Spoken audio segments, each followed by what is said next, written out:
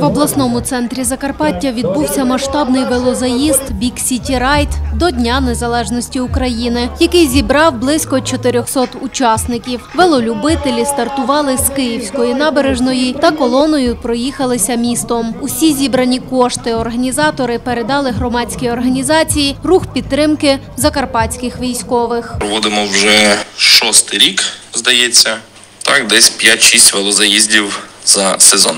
Маршрут був е, вулицями міста Ужгород. Весь маршрут склав 12 кілометрів і зайняв у нас півтори години. Грошей зібрали на продажі значків 35 тисяч 100 гривень, якщо не помиляємося, і задонатили на банку біля 7 тисяч гривень. І того зібрано біля 42 тисяч гривень. Ці гроші ми вчора збирали на 68-й дрон для 68-ї бригади.